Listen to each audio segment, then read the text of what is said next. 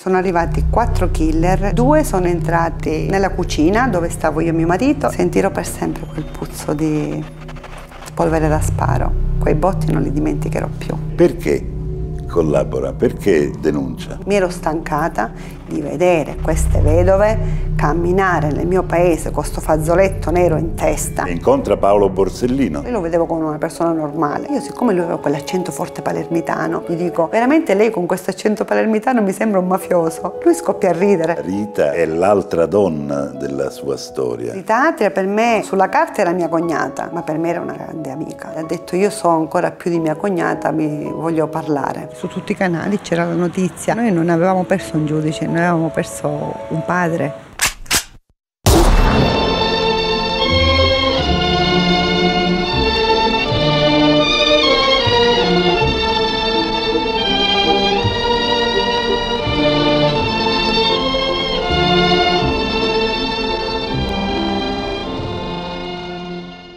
Piera, lei è la prima deputata testimone di giustizia, eletta con il Movimento dei 5 Stelle, dopo aver vissuto 27 anni nell'anonimato più assoluto. Eh sì, mh, uscire fuori è stato drammatico. Io ho avuto lo speciale cambio di generalità. E neanche la campagna elettorale si è potuta far vedere. Ho dato la mia adesione all'oscuro del Servizio Centrale di Protezione. Il problema era che dovevo firmare questi documenti per accettare la candidatura davanti al notaio. È stata roccambolesca la cosa. Ho preso un aereo. Ne ho presi quattro nel giro di quattro ore perché ho fatto località protetta a Roma, Roma, Palermo, per evitare che chi mi venisse a prendere all'aeroporto scopriva da dove io arrivavo. Dentro l'aeroporto stesso ho firmato i documenti con un notaio, mi sono rimessa nell'aereo, da Palermo ho fatto a Roma, a Roma località. E quindi lei è entrata in Parlamento con il suo vero nome? Come Pieraiello, ma io ci tenevo e in più avevo deciso di candidarmi a Trapani, proprio nella zona di Trapani,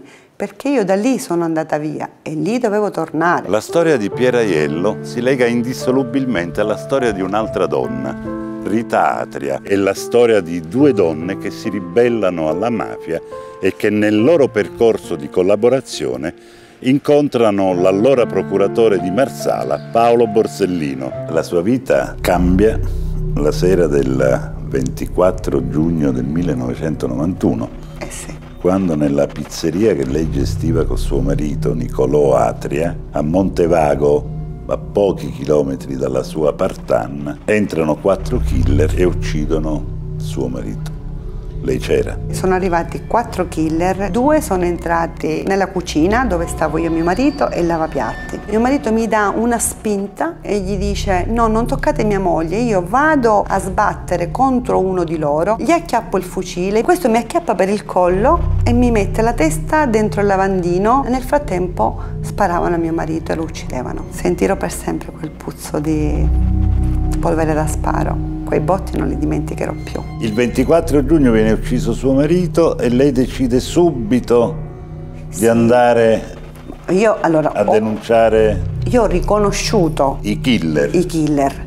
Perché collabora? Perché denuncia? Mi ero stancata di vedere queste vedove camminare nel mio paese con questo fazzoletto nero in testa come segno di sottomissione. E incontra Paolo Borsellino. Io non sapevo manco il significato di procuratore della Repubblica, io lo vedevo come una persona normale. Io siccome lui aveva quell'accento forte palermitano, gli dico, veramente lei con questo accento palermitano mi sembra un mafioso. Lui scoppia a ridere. Vedevo che tutti lo ossequiavano, lo rispettavano. Siccome al mio paese tutte le persone che venivano ossequiate, che erano a metà mafiosi, dicevano tutto onorevole, gli dico senta scusi onorevole, lui fa alt, prima mi dice mafioso, adesso onorevole, chiamami zio Paolo così non ci sbagliamo più. E da allora per me per mia figlia e poi per Rita, è diventato zio Paolo. Rita, Rita Atria. è l'altra donna della sua storia. Rita è la sorella di Nicolò. Sì. Più piccola di lei? Sì, 17. Aveva 17 anni. E lei per Paolo Borsellino era picciridda. Quando arrivavamo in procura facevo le picciridde, arrivarono per dire mia figlia è Rita, perché avevo la bambina di tre anni, io non l'ho mai lasciata. Rita Atria per me, diciamo, sulla carta era mia cognata,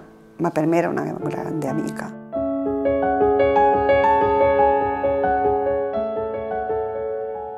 Dopo che io ho denunciato a luglio, lei inizia di sua spontanea volontà, va alla procura di Sciacca, ha detto io so ancora più di mia cognata, mi voglio parlare. Poi una sera vanno due killer a casa sua perché la vogliono fare fuori, la prendono i carabinieri, la portano via e arriva a Roma con me. Rita è stata con me fino a cinque giorni prima di morire, nel mio appartamento con me. Viveva qui nel quartiere Tuscolano, in via Amelia, al numero 23, Rita Atria, in una casa protetta. Una settimana dopo la strage di via D'Amelio, la sera, dal settimo piano di questo palazzo, si butta e si uccide. Lascia scritto sul diario le ultime sue parole. Ora che Borsellino è morto, nessuno può capire che voto ha lasciato nella mia vita. Tutti hanno paura, ma io l'unica cosa di cui ho paura è che lo Stato mafioso vincerà e quei poveri scemi che combattono contro i mulini a vento saranno uccisi. Prima di combattere la mafia devi farti un esame di coscienza e poi, dopo aver sconfitto la mafia dentro di te, puoi combattere la mafia che c'è nel giro dei tuoi amici. La mafia siamo noi, è il nostro modo sbagliato di comportarci. Borsellino, sei morto per ciò in cui credevi, ma io senza di te sono morta. Stavamo davanti alla televisione di domenica e su tutti i canali c'era la notizia. Noi non avevamo perso un giudice, noi avevamo perso un padre. Rita, subito disse è finito tutto. Le stesse parole che disse Caponnetto. Lei si è sentita sola, ma con tutto l'amore che io gli potevo dare. Lei non gli bastava perché l'amore di una mamma non si può sostituire, lei era stata rinnegata dalla madre. La salma fu portata nella cappella, nella tomba atria, ma la madre, dopo aver con il martello rotto la lapide di Rita, la trasferì nella tomba della sua famiglia perché aveva infangato la famiglia atria. Questo era l'ultimo sfregio che poteva fare alla figlia, non solo rompe la lapide, prende la figlia dalla tomba degli atri e se la porta a Canova per dire tu hai tradito, te ne vai fuori. Ecco dove viveva Rita Atria a Partanna. E questo è il palazzo dove viveva Pieraiello, alla periferia di Partanna.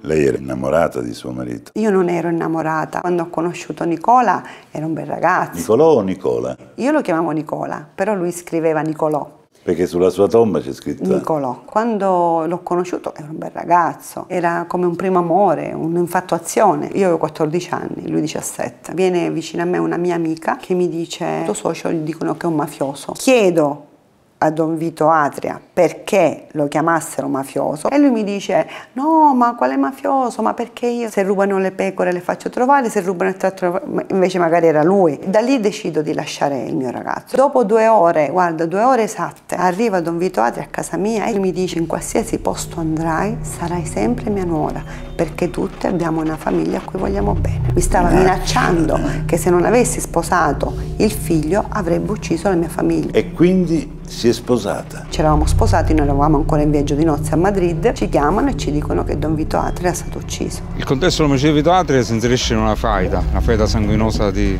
Partanna che oppone la famiglia degli Ingoia alla quale apparteneva Atria a quella degli Accardo. Gli Ingoia sono i vecchi mafiosi, gli Accardo sono i nuovi che sono sostenuti da Totò Rina. È una faida nella quale spara Matteo Messina Denaro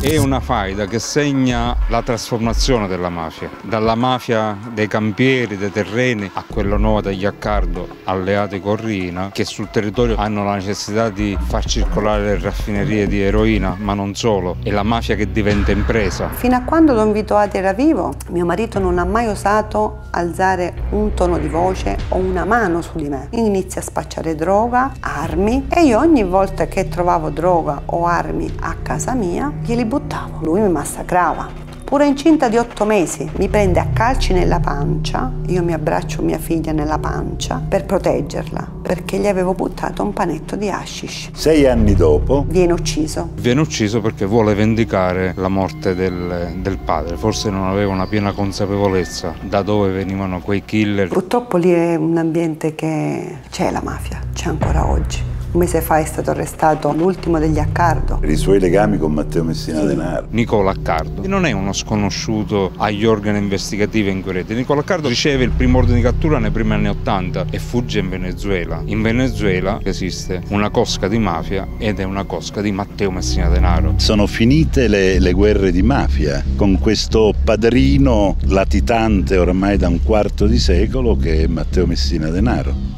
Sì, e dal, dall'inizio degli anni 2000 non ci sono più guerre tra famiglie, i perdenti eh, possono guardare al proprio orticello e in alcuni casi in provincia come ad Alcamo addirittura ci sono state delle alleanze tra vecchia e nuova mafia, tra perdenti e vincenti. Lei quindi a Partanna non ci va. Sono andata diversi anni il 26 di luglio per ricordare Rita e ogni tanto, senza far sapere nessuno, vado al cimitero. Una cosa che faccio da sempre. Compro due mazzi di fiori e una rosa. Un mazzo di fiori lo porta mia nonna Piera, il mio nome, la donna che è stata grande e che mi è stata sempre da insegnante. Un mazzo di fiori lo porto a Rita, una rosa la porto a Nicola. Lascio la rosa e gli dico, io una rosa te l'ho portata, ma non te la meriti.